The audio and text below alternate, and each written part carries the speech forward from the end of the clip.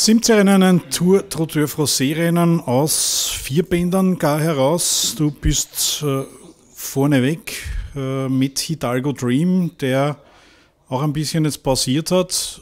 Probelauf eben mit dem auch im Rennen befindlichen Alpasabel war eigentlich sehr anständig. Das ist richtig. Ich freue mich auch sehr darüber, äh, dass er wieder am Boston ist. Das Pferd hat äh, jetzt äh, drei Schrauben im Bein und kann mit dem sehr umge gut umgehen. Und ja, wir werden sehen. Aber mich hat es einfach schon sehr positiv gestimmt, wie er den Probelauf gemacht hat, hinter einem äh, herzulaufen und dann noch nicht abreißen zu lassen. hat mich schon sehr noch einmal gefreut. Was denkst du, ist hier möglich? Sind natürlich schon äh, sehr starke Franzosen am Ablauf.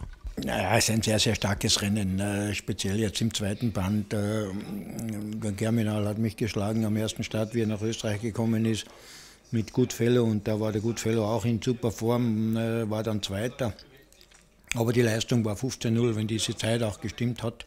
Äh, dann war das schon eine Leistung, die ihn eigentlich heute zum Gewinnen äh, befähigen müsste. Im Pensable wissen wir alle, wenn er in Form ist, wenn er funktioniert und, sage ich mal, in Ordnung ist, dann ist er ebenbürtig mit Germinal oder sogar noch ein bisschen besser. Der Christoph noch 20 Meter weiter dahinter ist auch in Topform, Fahrer und Pferd.